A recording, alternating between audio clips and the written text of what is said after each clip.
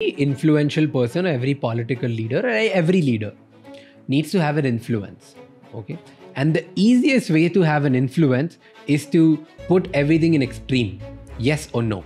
There's no middle hmm. Hmm. okay? So that's why the leaders of the world they are trained specifically and their campaign makers are trained specifically that you portray the situation in a way where people should feel themselves that either i'm with them or not with them the moment you feel so that's why you'll see every political campaign.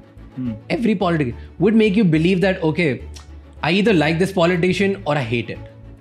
You wouldn't be like let me see what he's working on. Let me Yeah. see what what's his about. Let me see his background. No. The political campaign is designed in a way that if you are if you like us like if you're with us then you love us.